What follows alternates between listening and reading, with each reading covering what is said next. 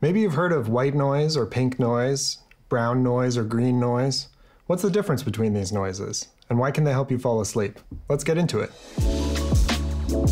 White noise is called white noise because of a comparison to light. If you take all of the visible wavelengths of light and combine them together, you end up with white light. In the same way, if you take all of the frequencies of audio that you can hear and play them at the same time at the same volume, you get white noise. So the color noises are just where we take a certain portion of that frequency spectrum and play that back to produce either a lower pitched or a higher pitched sound. The specific sound is determined by the length of the wave. A longer wavelength is going to produce a lower sound, and a shorter wavelength is going to produce a higher pitched sound. So this is white noise. And right now you're hearing all frequencies being played at a level volume. So the entire audible spectrum is just at a level volume. Now this is pink noise. And for pink noise, this was basically weighted to accommodate for human hearing. So human hearing tends to favor the higher frequencies. And so those can come through a lot more with white noise.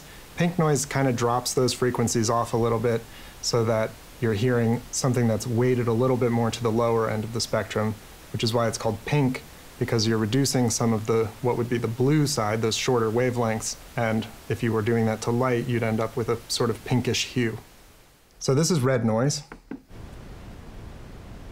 And with red noise, we're just dropping it even further. So we're instead of just kind of tapering it off, we're taking that spectrum and we're actually just highlighting the lowest end of the frequency range. So next, let's listen to brown noise.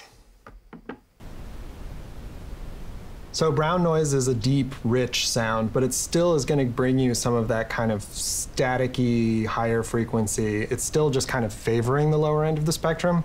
With our red noise, what we did is really isolated that portion of the spectrum so that you just have that pure, deep rumble, the kind of thing that you're getting from like backseat of a car, airplane cabin, womb sounds, just like a very sort of hollow cocoon of sound. We're going to do green noise now. Let's listen. This is a controversial one, okay? So bear with me. Green noise is supposedly tuned to the average frequency of the entire Earth. Um, which I am no scientist, but I don't think that that's based on anything. Um, but it might be. I don't know. I'm just a audio producer. We basically just took our green noise and placed it in the green segment of the frequency spectrum. I think it's a nice, rich, warm sound to listen to. Let's listen to blue noise. To me, these higher pitched sounds kind of get into a more specific place in your brain. Where blue noise fits in for me is like the shower sound. The, the general public definitely prefers a lower frequency range, but we wanted to include everything, so we've got blue here if showers is your thing. All right, let's listen to violet.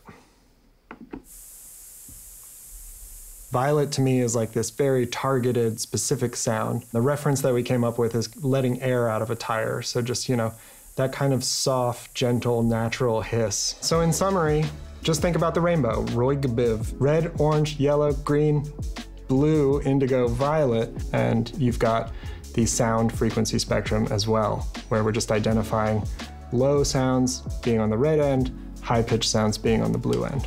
Want to try out a new color tonight? Try it in the Hatch app.